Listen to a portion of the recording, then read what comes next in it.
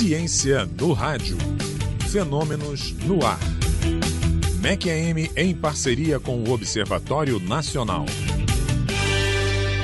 Ver estrelas, se comparado aos dias de hoje, ver estrelas era uma expressão até bem limitada na virada do século XIX para o século XX. Sim, porque até o começo do século XX, todo o universo na, pelo menos no conceito das pessoas, era restrito às estrelas nebulosas da esfera celeste, ou seja, das que nós podemos ver é, no nosso céu ali, os casais românticos observando as estrelinhas e tal, não sei o quê. Mas é impressionante como essa capacidade de ver estrelas que estão em outras galáxias, é, de ver para além da nossa galáxia, evoluiu nesses é, pouco mais de 100 anos, né, pouco mais de últimos 100 anos.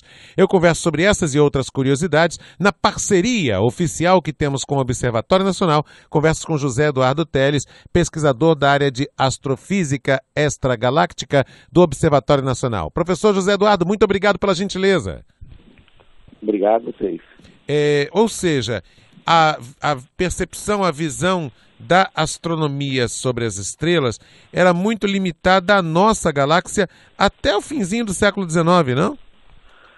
É verdade. É, foi somente com a, a, elaboração de novos métodos de determinação de distância é que nós pudemos é, observar galáxias é, além da nossa própria galáxia.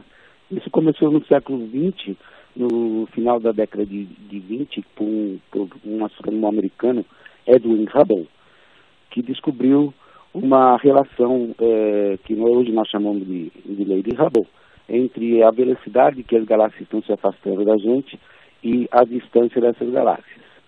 É, então, ele utilizou um método de determinação de distância é, descoberto por uma astrônoma americana no começo da década de 10, que é o método de é, determinar a, o período de pulsação de umas estrelas que tem uma relação com a sua distância.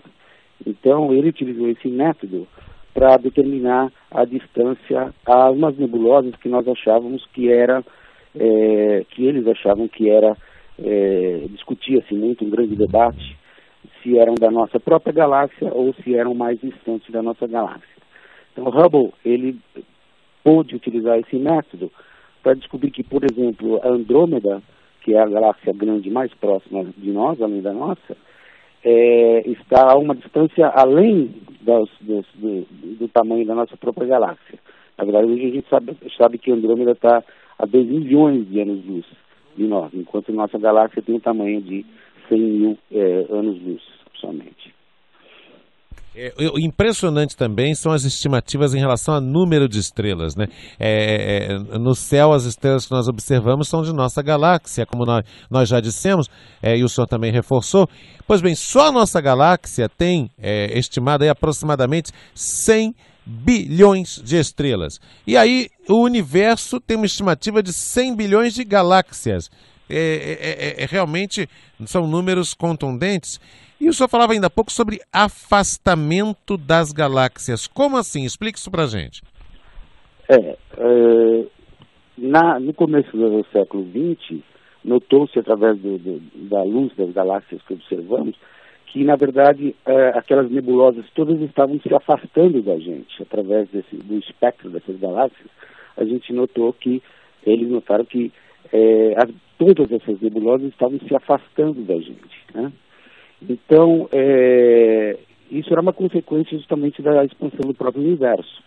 Daí que Hubble utilizou essa, essa é, velocidade medida pelo afastamento das galáxias e relacionou com as distâncias. Então, a Hubble criou, a partir dessa, dessa medida do afastamento das galáxias, uma relação com distâncias. Daí surgiu, na verdade, a astronomia extragaláctica, justamente porque pôde utilizar essas distâncias extragalácticas e notar que o universo, na verdade, está em expansão. Então, a consequência disso é que se você retroceder no, retroceder no tempo, você vai ter um momento em que o universo tenha tido um começo, que é o chamado Big Bang, onde a, a origem do universo é uma origem de, é, térmica, um universo muito quente e muito denso. Uhum. A consequência de que as galáxias estão todas se afastando uma das outras e de nós, é justamente que o espaço entre elas está, na verdade, crescendo. Não é bem que as galáxias estão se afastando, é o espaço entre elas está crescendo, devido à expansão do próprio universo. Uhum. Então, é, isso explica, pode explicar em muito a origem de tudo, né? Como, é, como as galáxias vão e, e as estrelas vão se formando e como o universo está em permanente expansão. Seria essa uma expressão correta, não? Sim, é, o universo está em permanente expansão, quer dizer, como você disse, é, dessa origem é, térmica, né, o Big Bang, você tinha nesse momento mais primordial é, a criação de umas um pouquinho mais, é, é, quando o universo tinha mais ou menos 300 mil anos, a gente já 400 mil anos, a gente já começa a observar a consequência da origem do universo, que é a radiação cósmica de fundo, que hoje permeia todo o universo e é muito fria, tem uma temperatura de 2,7 Kelvin somente. E isso é indicação de que essa hipótese de, teórica de que o universo tinha surgido num, momento quente é, inicial está de, acordo com o que a gente observa. Desse momento inicial, havia flutuações de matéria, e essas flutuações de matéria não, uhum. não tinham nada que impedissem que elas colapsassem. Né? Essa matéria, na verdade, era matéria que a gente desconhece, a gente chama de matéria escura. E dentro dessas bolinhas de matéria escuras pequenas, é que já se condensavam a matéria que a gente conhece, em átomos uhum. e moléculas, num momento bastante primordial, o universo tinha apenas centenas de milhões de anos, formando as primeiras estrelas, estrelas grandes, muito, muito massivas. E com o crescer do universo, essas aglomerações de matéria escura continuavam a crescer de matéria que a gente chama de, de forma que a gente chama hierárquica, as pequenininhas se juntavam com, entre elas, formando essas bolinhas maiores e maiores, onde se você tinha essa matéria que a gente conhece crescendo também, formando não somente as primeiras estrelas, mas também as primeiras galáxias. Aí uhum. o universo ainda tinha menos do que um bilhão de anos nesse momento. Daí uhum. cresceu até hoje que tem com o universo que nós é, é, é, estimamos tem uma idade de 13,7 bilhões de anos. Por que algumas galáxias têm um formato que parece um, uma espiral? São as chamadas galáxias espirais. Existe uma explicação científica para isso? Sim. É, os dois tipos mais comuns, inclusive Hubble descreveu isso na sua classificação morfológica de galáxias, do universo local, são as galáxias espirais. Elas são possuem uma, uma esfera central de estrelas velhas e um disco, um disco de estrelas jovens.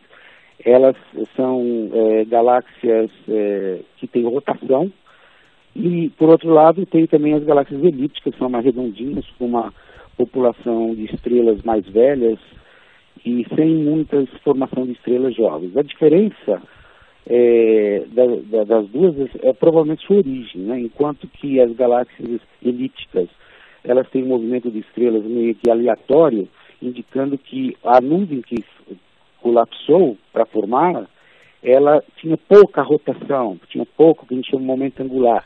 Então o colapso foi mais radial, um colapso mais ordenado. Enquanto que a nuvem que formaram as galáxias espirais, elas possuíam uma certa rotação, um pouquinho de momento angular, que a gente chama, e isso provoca um colapso não somente radial, mas também formando um disco achatado. Então, essa a, a origem da, da, dos dois tipos principais de galáxias do universo local é justamente esse processo inicial de formação. Apesar que é, as galáxias, elas, o universo são muito dinâmicos, o universo é muito dinâmico, e elas, elas se colidem com muita frequência. E a colisão de galáxias, por exemplo, de duas galáxias espirais, podem formar, dar origem a uma galáxia, no final das contas, como a gente observa para galáxias elípticas. Sim. Então, existem caminhos distintos que podem chegar à, à, à, formação das galáxias que nós observamos no universo local. É parte do nosso estudo. Existem novas galáxias, ou seja, galáxias que estão se formando somente agora? É, é possível que sim, mas isso, isso implicaria que a formação dessas galáxias provavelmente seriam galáxias de menor massa, menores, já que o colapso gravitacional é justamente do, dessa matéria que conhecemos dentro dos halos escuros de matéria que não conhecemos de matéria escura, seria uma evolução mais lenta. Então é possível que uh, existam halos escuros que estejam é, condensando essa matéria que conhecemos mais posteriormente no universo. Mas não deve ser comum. Então deve ser comum mais um processo mais geral, onde houve um momento uhum. inicial da formação é, das galáxias, é, primeiras galáxias, que nós, na verdade nós não sabemos como elas se relacionam com as galáxias do universo local. Certo. Já que quando, quando observamos as galáxias mais distantes, estamos observando um universo mais primordial, nos seus momentos mais é, jovens, então as galáxias jovens do universo distante é, podem se relacionar é, de uma forma evolutiva com as galáxias que observamos no universo local. E esse tudo, então, portanto, é, é produto do estudo de, que a gente chama de evolução galáctica. Certo. Professor, nossa, que aula legal, que bacana. Muito obrigado por ter contribuído aqui com, com a função primordial desse quadro, que é trazer o conhecimento científico, democratizar o conhecimento científico, trazê-lo até os nossos, nossos ouvintes. Professor José Eduardo Teles, pesquisador da área de astrofísica extragaláctica do Observatório Nacional. Um grande abraço para o senhor, tá bom? Um abraço, muito obrigado. É, ele falou ao vivo aqui com a gente no quadro que é uma parceria oficial desde outubro de 2015, parceria oficial da Rádio MEC Educativa com o nosso querido Observatório Nacional. Ciência no rádio. Fenômenos no ar.